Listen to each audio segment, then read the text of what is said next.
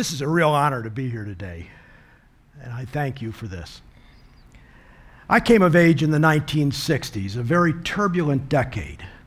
Civil rights movement, the assassinations of John and Bobby Kennedy, Martin Luther King Jr., the Beatles, the Vietnam War, Woodstock, the Nixon presidency, and a man on the moon. During that time, guys like me made commitments and mine was that if I ever had the opportunity, I wanted to help others.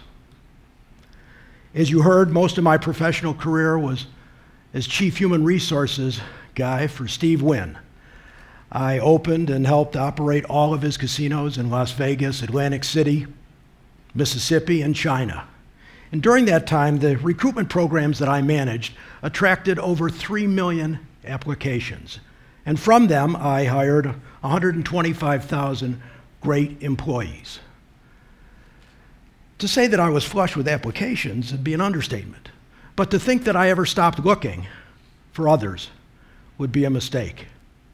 Here then are some stories of a few alternate recruitment strategies that I initiated and some lessons that I learned. 1989, we opened the Mirage. We had 55,000 applications for 5,000 jobs. In the year after we opened, we had high morale, low turnover. Everybody wanted to work for us. And one day I get a call from Steve Wynn's office, and he says, Come on down, I want you to meet somebody. So I hustle down there, and while I'm going, I'm thinking, geez, this guy, Steve Wynn, he is the best recruitment magnet that any HR guy could ever hope for.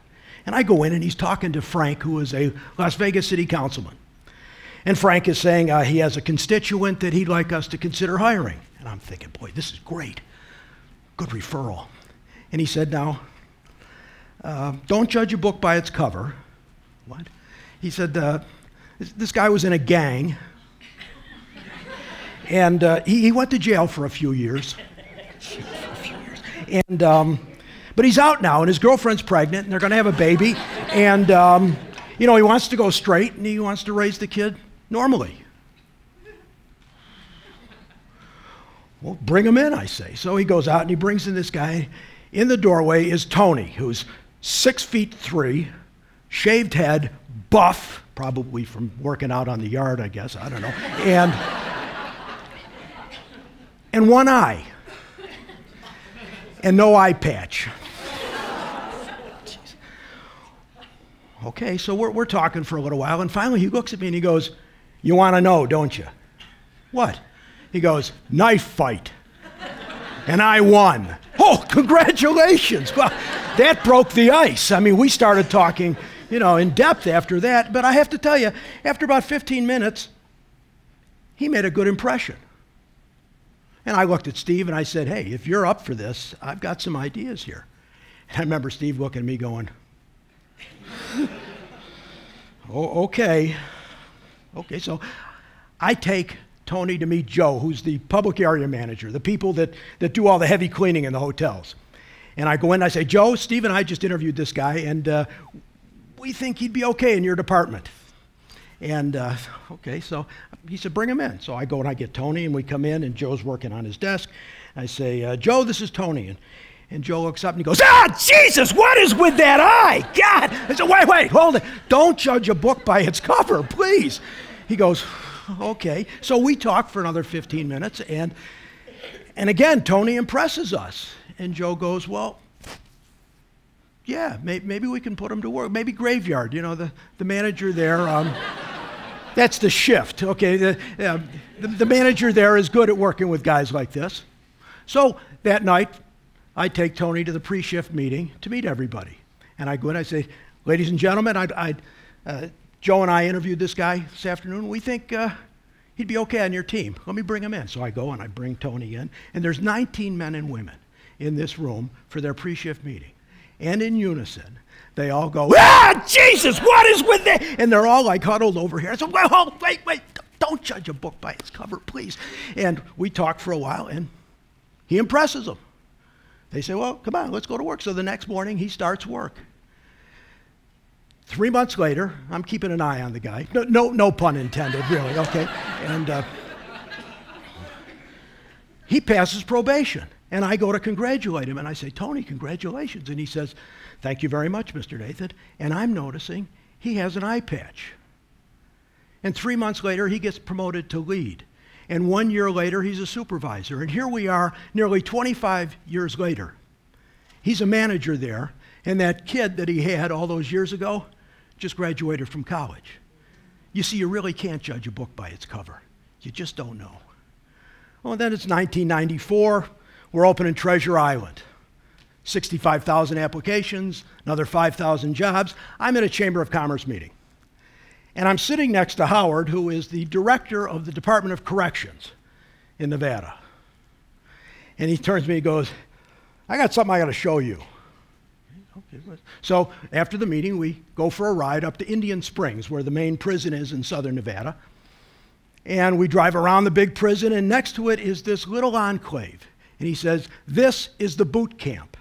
It is a new facility where the judges and the district attorneys can decide to send some first time nonviolent felony offenders if they think this will help rehabilitate them. Come on, I want you to meet the commandant. Commandant. So we go in, and he introduces me to Pete. Pete is an ex Marine drill sergeant who looks just like what an ex Marine drill sergeant would look like if you ordered him from Central Casting. Big guy, crew cut, booming voice. He goes, What we have here is a new facility where we will take young men and we will rehabilitate them through hard work and calisthenics and coaching and counseling. And what we then need, and this is where you come in, my boy, what we need is someone to give them a second chance. okay. So he says, Come on with me. And we go to the front gate, and at the front gate, the bus pulls up, and five guys get out with their, their little duffel bags. And they come through the front gate, and Pete goes, Drop your duffel bags. And they drop their duffel bags. He goes, Get in the pit. Now, the pit is what looks like an oversized uh, sandbox full of sand, obviously, but in this case, it's saturated with water, so that's mud.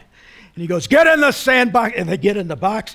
He goes, Start doing count. And they're doing jumping jacks, and they do deep knee bends, and then squat thrusts, and then more jumping jacks, and then sit ups and push ups and running in place. And he turns to me and he goes, These young men will leave their attitudes in the mud.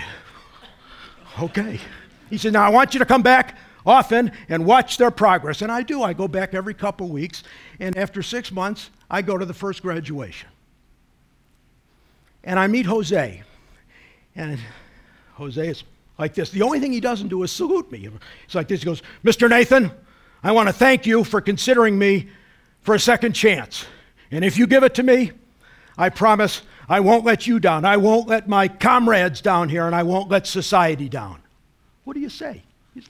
Well, okay, I hire him as a landscaper, put him to work as a laborer. Six months later, he's working in the tool room. A year later, he's a supervisor. And here we are 19 years later, he and his wife and three children, all of whom are straight A students in high school, are living in North Las Vegas. Sometimes a second chance works. And then we open up Bellagio 85,000 applications, 9,000 jobs. I'm again at a Chamber of Commerce meeting, and I'm sitting next to John, who is the franchisee for the local Burger Kings. And he is lamenting the fact that uh, I, have got 300% turnover. Uh, these people, they come and go, and I, I, can't get any traction. There's no consistency. I can't get good customer service. How do you, how do you do, deal with something like this, Arte? I said, well, look, in our company, we provide people with opportunities. And those opportunities motivate them to, to stay and to work hard and to get promoted. He goes, I, I don't know how I do anything like that. I say, I'll tell you what, John. If you have an employee, any employees that stay six months in your company, I'll make them a job offer at Bellagio to work in our kitchens for one of our celebrity chefs. He says, You do that for me? I'm thinking six months, 300% turnover. Nobody's going to be there, but what the heck? I said, Sure, I will. Six months later, he calls me up. He says, I, would like to introduce you to Darnell. Who? Darnell. Well, who's Darnell? He, look, this young man heard about your offer, And he's been here six months. He's been working very hard. He's missed only one day of work, and he'd like to meet you. Come on over for lunch. Okay, so I go get a Whopper, you know, and. Uh, and there's Darnell. He takes my hand in both of his and he says, Mr. Nathan, this opportunity that you're offering us means so much to me. And if you would allow me, I would love to work for your company, and I won't let you down. Well, what do you say? Well, okay, I'll put you to work. Come on, you go to work in the kitchens. Now, he goes to work in the kitchen as a prep cook. This is one of those guys that's gone from cocaine to cooking, and he is doing wonderfully. Today, 15 years later, he's an executive chef, all because somebody gave him an opportunity. Hmm. And then I went back and I opened the Wynn Hotel in Las Vegas. 125,000 applications for 10,000 jobs. One day I'm in my office and one of my staff comes to get me and she says, Arte, come here.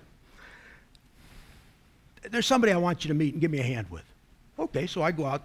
She goes, Arte, I'd like you to meet Derek. And I say, Hi, Derek, how are you? And Derek looks at me and goes, Hello, Mr. Nathan. I really want to work for Steve Wynn. Now, it's obvious to me that Derek has profound disabilities. He said, My parents brought me here today for my interview. I said, Your parents are here? Yes, they are. They're back there. So I said, Excuse me. So I go meet his parents. And the mother and father say to me, Derek is a part time assistant dishwasher in an off strip restaurant. For the past year, he has paid attention to the news and he has watched the building of Steve Wynn's new hotel, and all he's talked about is having a chance to be a dishwasher at Steve Wynn's hotel. And he went online with us, and we helped him fill out his application. He got an appointment. We're here today, and I hope you'll consider him. Hmm. So I go back and I say, Derek, tell me what you want to do. And he says, Mr. Nathan, I only want to work for Steve Wynn. I want to be the best dishwasher that the Wynn Hotel ever hired.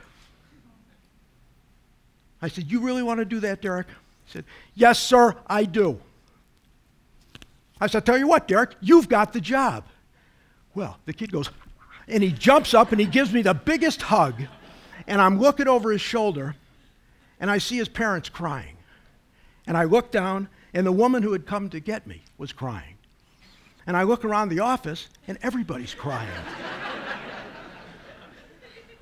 and it dawns on me that sometimes a good deed is its own reward. Those are some of the crazy things I got involved with hiring all these people. And people often assume that I went looking for more applications because I needed them, which was not the case. I, I did all these programs because they were the right things to do. And they helped me keep that promise that I made so many years ago to help others. And along the way, I learned that you can't judge a book by its cover, that giving people a second chance and an opportunity can change lives, and that good deeds really are their own rewards. But maybe the most important thing I learned was that sometimes just because you can do something doesn't mean you should. But then there are other times that because you can, you absolutely should. Thank you.